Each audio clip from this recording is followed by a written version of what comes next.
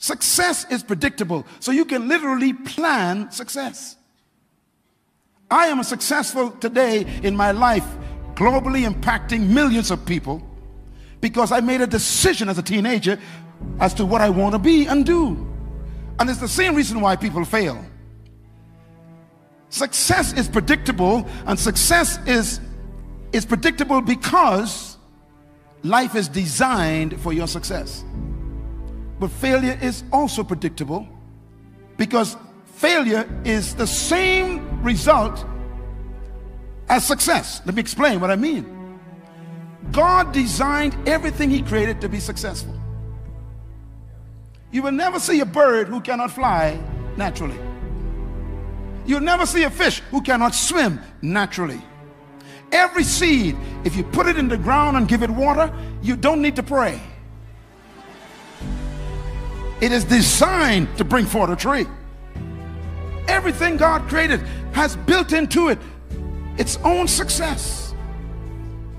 And if the plant is here today and gone tomorrow, how much more important are you to God? The average human being does not know why they're on planet Earth. They wake up every morning, go into a job they hate, working with people they don't like, getting paid less than they're worth, and dying too young from frustration because they don't know why they exist. Without a purpose, life has no meaning. It has no sense of destiny, no sense of precision. The average human on earth have no idea about their ability. 90% of the human population will die and never achieve more than 10% of their true ability. And this is the frustration of all humans. Every human wants to be successful. I have never met any human who said, I plan to fail tomorrow. No human wants to fail.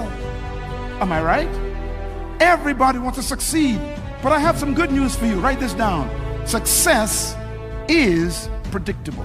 What is my destination? Everyone wants to know what is my future? Where am I going in the next 20 years, 40 years? What will I be when I am 75 or 82? What is my destiny? The greatest tragedy in life is life without a purpose. Nothing is worse than being alive and not knowing why. Breathing oxygen and eating food and getting energy and don't know why you have it.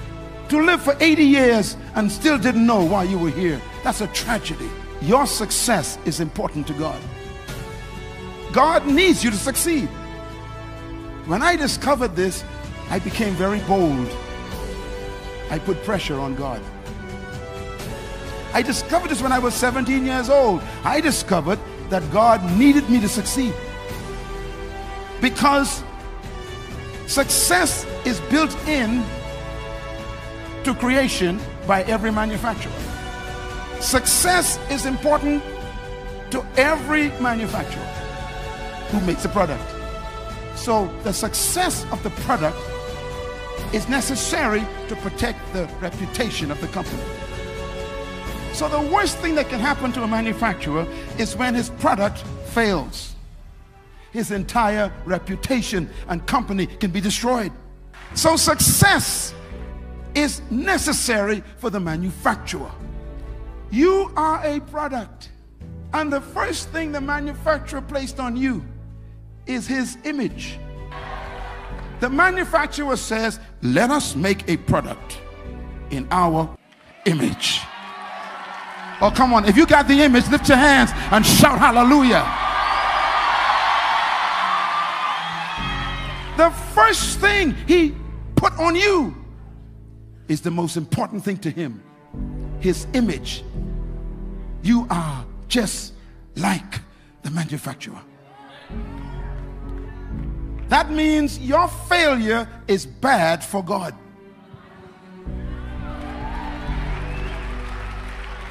I have come with good news. You cannot fail anymore. God has to guarantee your success, not to protect you. God has to make sure that the vision He gives you succeeds because His reputation is on the line. So when you read the Bible, all through the Bible, God would say these to his people. He would say, even though you are stiff necked, you complain. He said, I will prosper you and I will restore you and I will heal you and I will redeem you. Listen, for my name. Come on, clap them hands and scream hallelujah.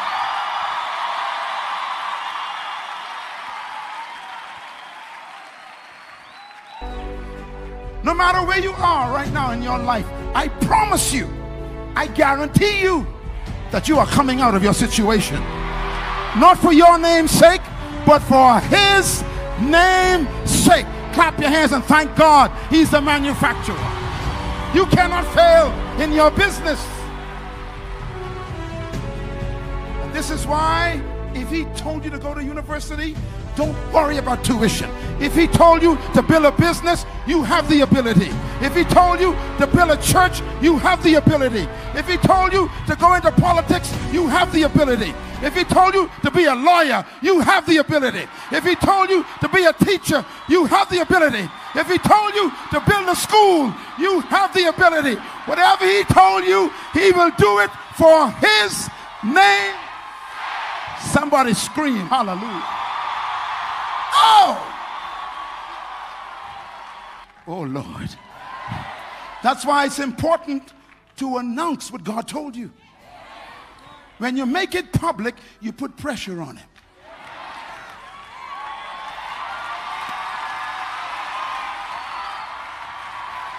Oh, come on, young man. You got to talk about your vision. You got to talk about your dream and tell everybody, God told me this. God told me this. God told me this. And he has to protect his reputation. Clap your hands and scream hallelujah.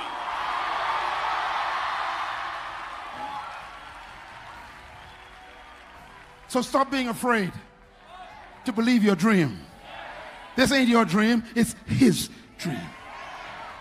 Your success is good for God. So he has to make sure you succeed. That's why I am so bold. You know, when you discover who you are, you make announcements you can't pay for.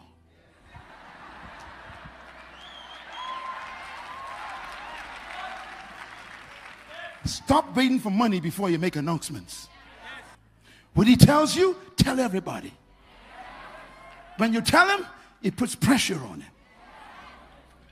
That's why I have no doubt in the next 10 years, everything you told your friends that they laughed at will come to pass. So the secret to your success is built in. God created birds to fly. So if birds don't fly, his name is in trouble. God created fish to swim. So if fish can't swim, his reputation is in trouble. God created seeds to bring forth trees. So if a seed doesn't bring forth a tree, God's reputation is in trouble. So God is very wise. He built into everything laws to guarantee its success. The car that you bought was made by a manufacturer. The manufacturer built into the car the laws for function. You don't need to pray about what to put in your gasoline tank. It's a law. The manufacturer says, You shall use unleaded gasoline only. He didn't ask your permission. He built the law into the car. And when it comes to you, it comes with the laws built in. Now, if you decide you like orange juice, and you're going to put orange juice in your car because you like orange juice, then the car malfunctions. You submit to the laws of the manufacturer, and it guarantees success.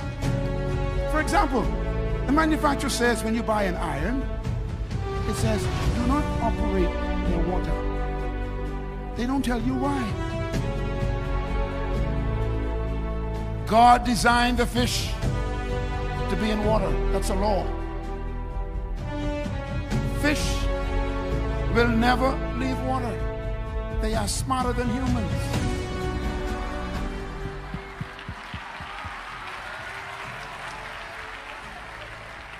Birds were designed to fly in the air.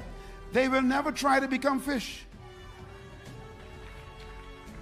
If you put a seed on the ground on a tiled floor in the lobby and leave it there for 50 years, it will remain a seed. Why? You disobeyed the law of the seed. It needs soil and moisture. Success, write this down, is a result of decisions.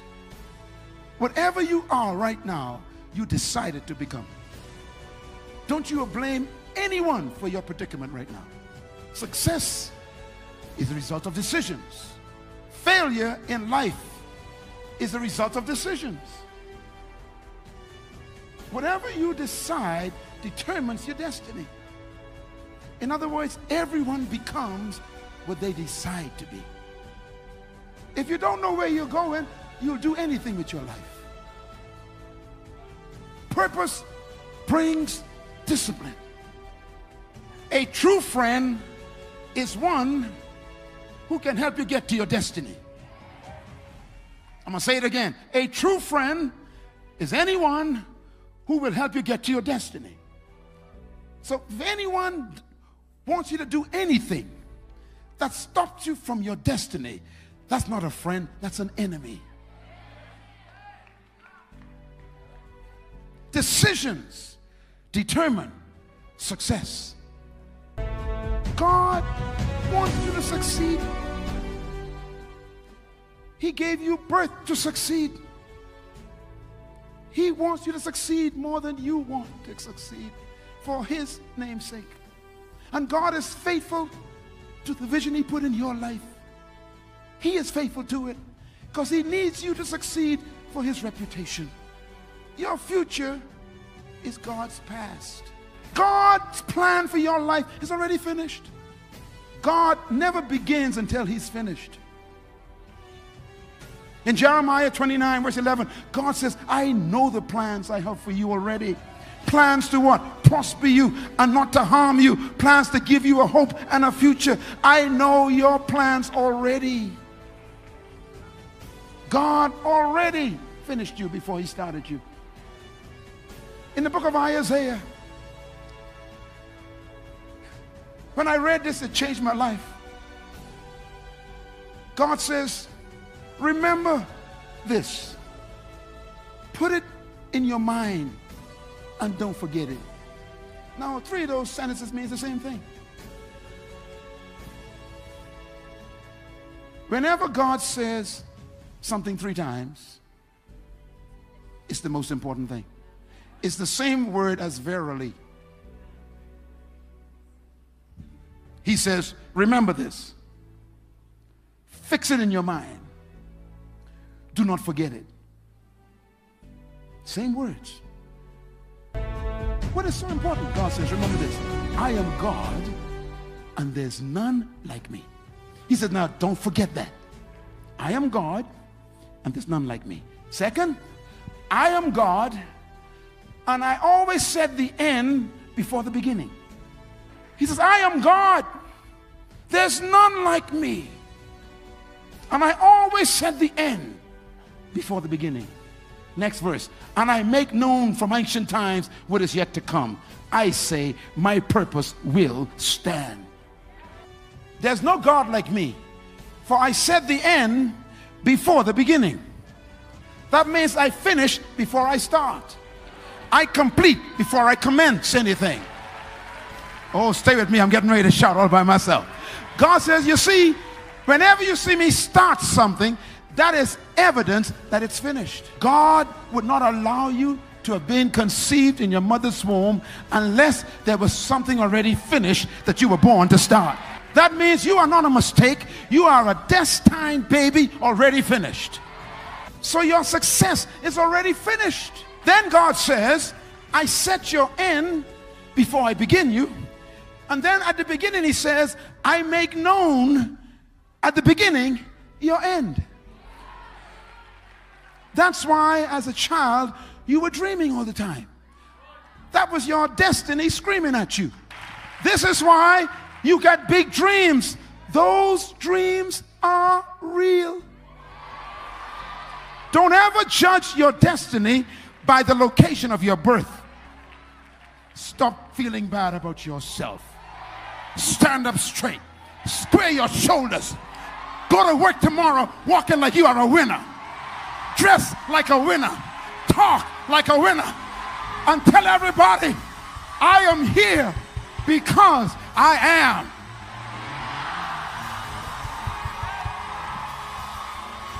Hallelujah.